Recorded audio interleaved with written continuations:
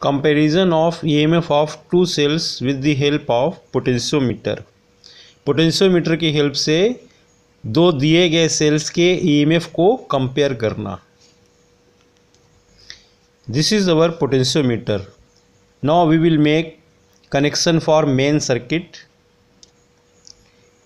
here is a battery B इस battery के positive terminal को पोटेंशियोमीटर के पहले एंड से फ़र्स्ट एंड से which is point A connect कर देते हैं। और बैटरी के निगेटिव टर्मिनल को एक रिहोस्टेड और की के थ्री के थ्रू पॉइंट सी से, दूसरे एंड से कनेक्ट कर देते हैं। जैसे ही की के थ्री को हम ऑन करेंगे, इस करे पोटेंशियोमीटर वायर में करंट फ्लो होने लगेगी और इसके ए और सी इंड के बीच एक पोटेंशियल डेवलप हो जाएगा।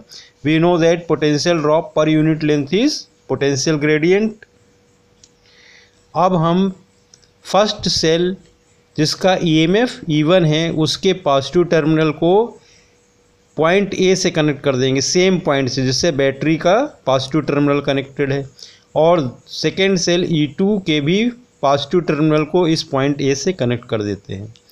आफ्टर दैट जो सेल के निगेटिव टर्मिनल्स हैं, उनको दो अलग अलग की के वन और के टू से लाइक दिस कनेक्ट कर देते हैं। We may also use two way key और की के वन के टू के कॉमन पॉइंट को एक गैल्वेनोमीटर के एक एंड से कनेक्ट कर देते हैं with the help of connection wire connect the other end of this galvanometer with the help of a connection wire with a jockey अब फ़र्स्ट सेल की के की के वन को हम ऑन करते हैं। और की के टू ऑफ़ है सेकेंड सेकेंड सेल की।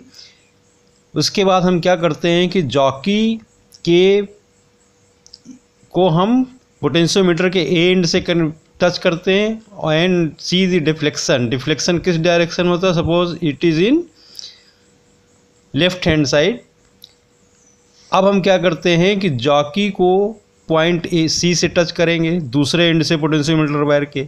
Now deflection should be in opposite direction so our circuit is correct अब जाकी जे वन को हम पोटेंशियोमीटर वायर में ऐसी जगह टच करते हैं जिससे कि गैलोनोमीटर में कोई डिफ्लेक्शन ना हो। There is no current this is called null point position और बैलेंसिंग पोजीशन इस पोजीशन के लिए हम पोटेंशियोमीटर वायर में लेंथ मेज़र कर लेते हैं। फ्रॉम द इंड ए जिस डायरेक्शन में करंट फ्लो हो रही है। जैसे करंट इस इस वायर में लेफ़्ट से राइट जा रही है और सेकेंड वायर में right to left. So we will measure the distance in the direction of current.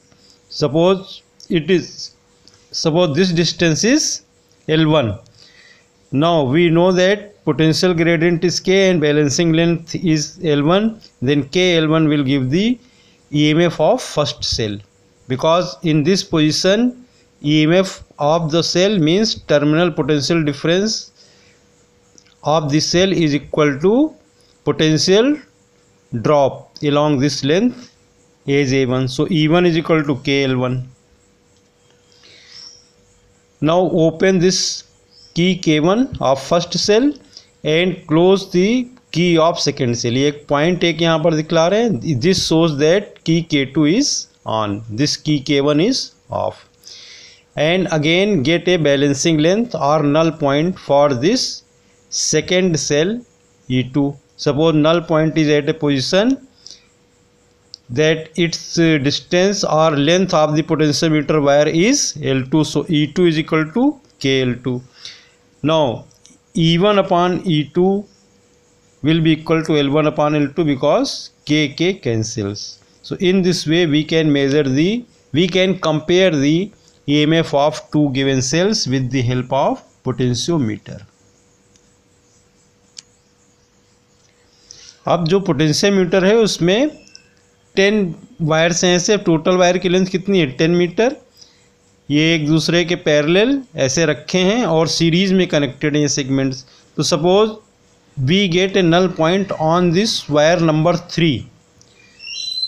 So from here we, will measure distance from end, so A up to this end one metre, in second wire this two metre, and in third wire we are we are here तो अब इसकी total length क्या होगी? Length of two wires number of wires क्या हैं? Two and we will measure length from left hand side suppose this is sixty so total length is two hundred sixty centimetre and now suppose we are in wire number four so we will measure length number of wires three and this distance. Suppose we are here we get null point at this point. So this distance. So in in this case when we are in wire number 4 means on even number wire then we will dis measure distance from right hand side. So distance will be suppose this is this point is 70 here but we will measure this distance as 30 centimeter. One wire two wire three wire 300 centimeter and this 30 centimeter this is total 330 centimeter. Thanks. Have a nice day